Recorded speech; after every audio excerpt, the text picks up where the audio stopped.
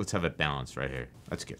All right, you ready? There's lots of misunderstanding and, quite frankly, ignorance about the conflict between Israel and Hamas in the Gaza Strip, as well as the broader conflict between Israelis and Palestinians. And if people want to learn more about the broad history of this conflict, I recommend five books. And if you stick around to the end, I've got a sixth book for you as well.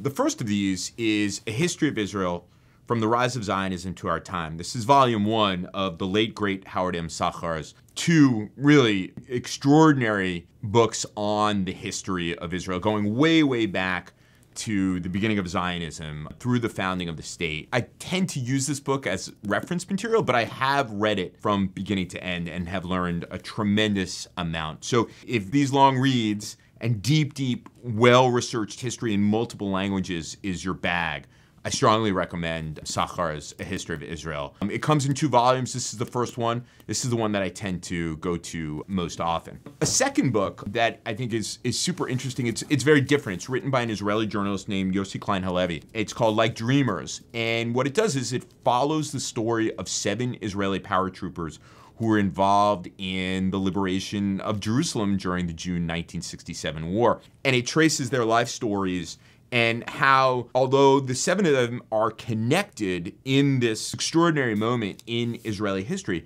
how they diverged in later life. And it really speaks to the kind of deep and abiding differences among Israelis about the future of their country. Then, for a, an entirely different perspective on these issues, I strongly recommend Rashid Khalidi's the Hundred Years' War on Palestine. This is, I think, the first book that provides a, a history of the conflict between Israelis and Palestinians told specifically from the Palestinian perspective. Khalidi is an excellent writer, and he really provides a, a, compelling narrative for the Palestinians. And it gives you a sense, if you read some of these works in parallel, how deep the divide is. This book, I, I, think early on in the conflict between Hamas and Israel, was on the New York Times bestseller list.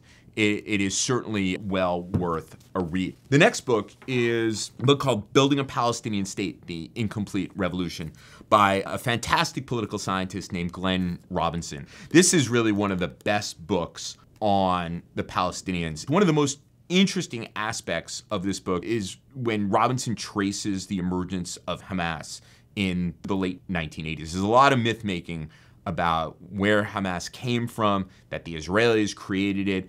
I'm not going to give that part of the book away. You should really read it. It is a work of political science, but it's highly, highly readable. I, I strongly recommend Robinson's Building a Palestinian State.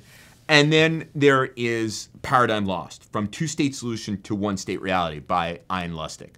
Ian Lustick's a professor of political science at the University of Pennsylvania. He makes a, a very interesting and controversial argument here, which is that the West Bank, Israel proper, and the Gaza have essentially become one state in which the, the state of Israel controls all of these territories. But the fundamental problem is there is no equality. Uh, and that is leading to apartheid.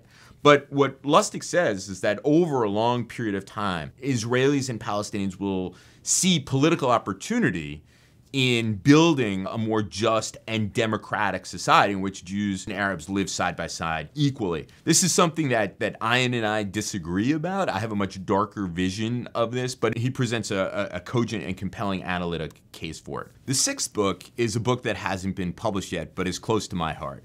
Uh, it'll be published in June 2024 and I've written it. It's called The End of Ambition America's Past, Present, and Future in the Middle East. It's not intended to be a history of the Arab Israeli conflict or a history of the U.S. in the Middle East, but it does provide a sharp analytic edge to the relationship between the United States and Israel, how Israel's national security became a core interest of the United States in the Middle East, and what the consequences of that were for the Palestinians and their quest for statehood. If you've liked this video, uh, please leave a comment. And importantly, if you have your own book recommendations to help people understand the conflict between Israelis and Palestinians, please leave that title in the comments section. Thanks so much.